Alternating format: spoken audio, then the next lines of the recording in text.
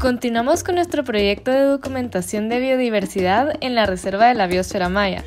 En enero del 2023 regresamos al Parque Nacional Yashá Kumi Naranjo para tomar fotografías aéreas de la laguna Yashá y el río Ixtinto.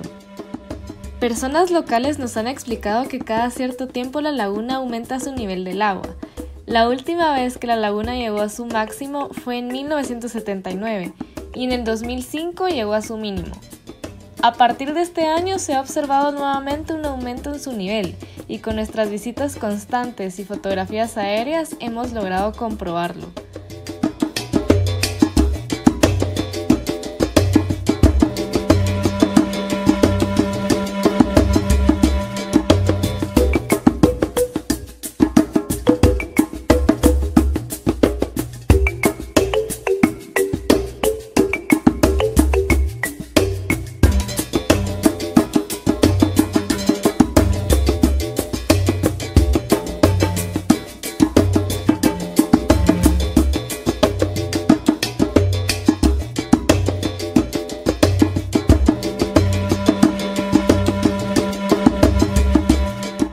Además, en esta oportunidad también íbamos en busca de especies de abejas sin aguijón, ya que sus características y las increíbles propiedades medicinales de la miel que producen han llamado nuestra atención desde hace mucho tiempo, y sabemos que esta información no es tan bien conocida por el público. Estamos trabajando en nuevos reportes y material didáctico para niños sobre el tema. Cuando caminábamos sobre la ruta hacia Nacum, observamos una hermosa pasiflora coriácea floreciendo. Algo curioso de esta planta es que debido a la forma de sus hojas se le conoce comúnmente como ala de murciélago. Y durante nuestras observaciones nunca faltan los monos arañas. A este juvenil lo encontramos comiendo frutos de palma de escoba.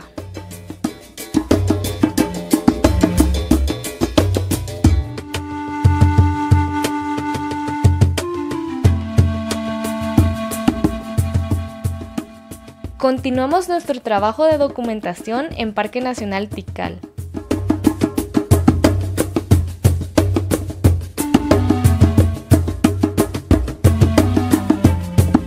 Sobrevolamos nuestro dron para fotografiar algunas de las aguadas presentes en el parque.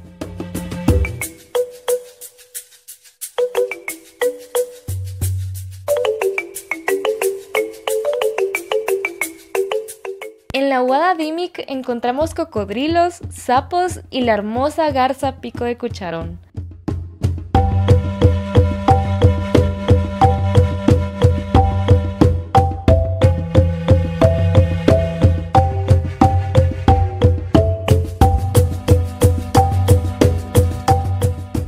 Fue difícil encontrarla, por mucho tiempo estuvimos buscando al ave poto, pero esta ave se camufla muy bien entre la corteza de los árboles. Además la encontramos durmiendo, ya que es activa durante la noche.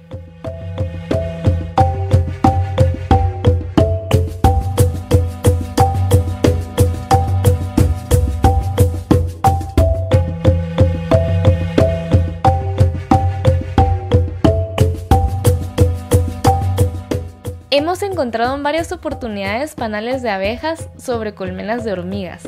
Nos parece una simbiosis muy interesante.